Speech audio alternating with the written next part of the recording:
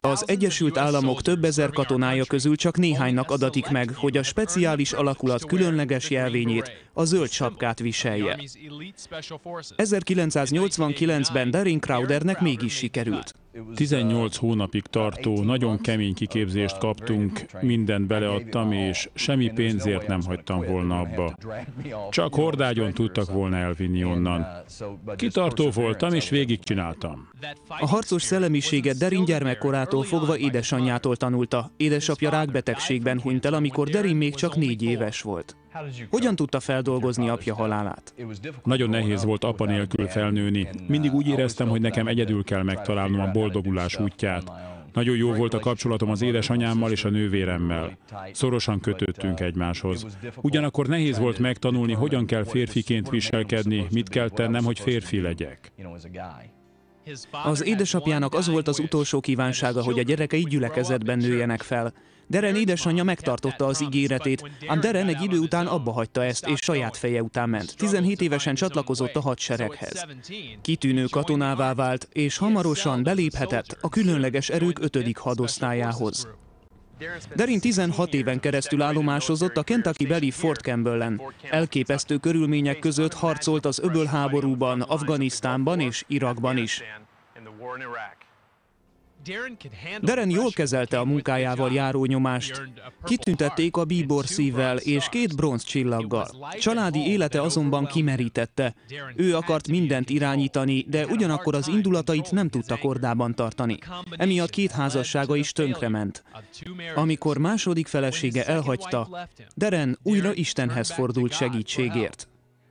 Rájöttem, hogy éveken keresztül mindent én akartam irányítani. Emiatt teljes káosz lett az életem. Eközben egyre csak édesanyám, a pásztorom és a bibliaoktatóim szavai vízhangoztak a fejemben a gyermekkoromból, akik elmondták, hogy kinek kell irányítani az életünket. Ekkor Istenhez kiáltottam, és azt mondtam, Teljesen tönkretettem az életemet, amikor én irányítottam. De mostantól a tiéd, és ettől a perctől kezdve Isten átvette az irányítást.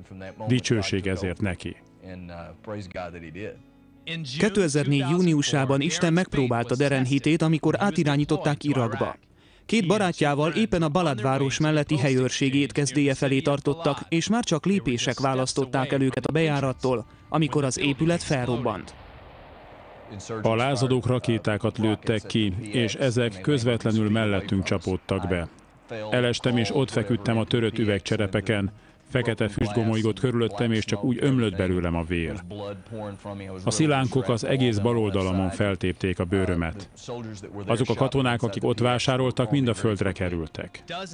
Katonák tucatjai haltak meg, vagy sebesültek meg a támadás során. Deren barátja Leo túlélte, de másik barátja Paul, aki mellette állt, meghalt. Miközben Derin repeszek által okozott sebeit kezelték, megpróbálta megérteni, hogy mi is történt vele. Ahogy ott feküdtem az ágyon, nagyon dühös lettem Istenre, hogy miért kellett így történnie. Nem származott belőle semmi jó. Ahogy a sebeket néztem a lábamon, észrevettem egy véres ronydarabot. Ahogy felvettem a véren keresztül, a következő szavakat olvastam. Elesnek mellőled ezren, jobb kezed felől tízezren, de hozzád nem is közelít. A szívem ekkor már a torkomban kalapált. A 91. Zsoltár szavai voltak arra a kendőre nyomtatva, amelyet érszorítóként használtak Deren lábához. Amikor ránéztem azokra a szavakra a véres rongyon, olyan volt, mintha maga Isten szólt volna. Terveim vannak vele, Darren. Volt tervem Pólal kapcsolatban is, adtam neki kegyelmet, és hazajött hozzám. Minden rendben van. Pól nagyszerű keresztény volt, csodálatos férj és apa, és nagyszerű barát. Nincs kétségem afelől, hogy a mennyben vár ránk. Amikor ez eszembe jutott, ekkor békesség szállt rám. Ugyanakkor megerősítette és bebetonozta hitemet Istenben, hogy milyen nagy és hogy milyen nagy dolgokat cselekszik, a látszólag borzasztó helyzetekben is. Derent Németországba szállították, hogy megműtsék. Azt mondták, hogy csoda, hogy élek. Egy éles szögdarab közvetlenül az artériám mellett állt meg, fel is érthette volna. Az orvosok azt mondták, nincs rá magyarázat, ez csoda. Elmondtam az orvosnak, hogy tudom, mi történt. Mit gondol, miért pont ön élte túl ezt a támadást? Nem tudom. Nem tudom. Nagyon összetörtem. Nem akarok hazudni. Nagyon sokat tépelődtem ezen, mert számos barátomat elveszítettem, nem csak Paul.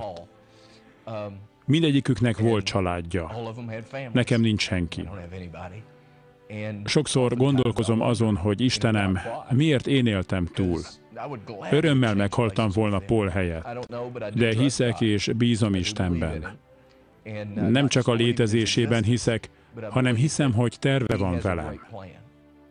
Darren felépült a sérüléseiből, bár még mindig vannak fájdalmai. Noha leszerelt a hadseregből, még mindig katonának tartja magát. Azelőtt az országom szabadságáért harcoltam, most az egyén szabadságáért és békéért harcolok, mely Jézus Krisztus megismerésével jön el az emberhez.